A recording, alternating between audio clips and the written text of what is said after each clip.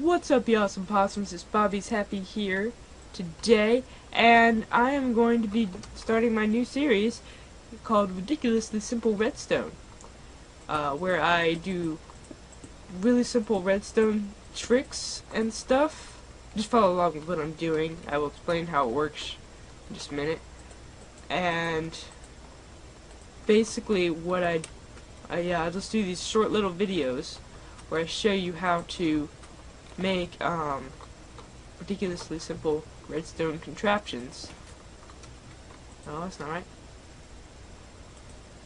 Uh, and yeah, it's gonna be pretty cool. So today we are making a uh, really compact 2x1 sliding door.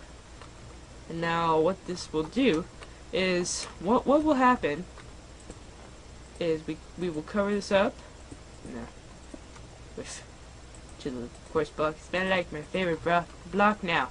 Okay, and what what will happen is when we step on these pressure plates, they activate this redstone wire, which turns off this torch, and retracts these pistons, allowing the door to open. Now that's how you make it.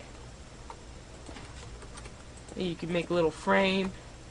It's a little one-sided, if you know what I mean. Uh, with it's just kind of it kind of sticks out here, and then it's kind of well, it's three blocks thick, so it's a little clunky.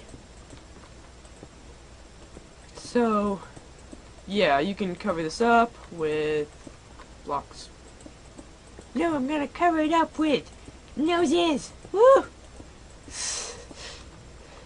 But yeah, you just step right here, slides back, step out, slides back in, and you are done. I hope you enjoyed this video. Please leave a like and subscribe if you haven't already already subscribed. I have gotten a, a lot of subscribers this week. I just want to say thank you so much for subscribing. It means a lot to me. And that was it. Actually, a little news just to make this a little bit longer. Um, I am working on a sort of a longer animation than what I've been doing. So,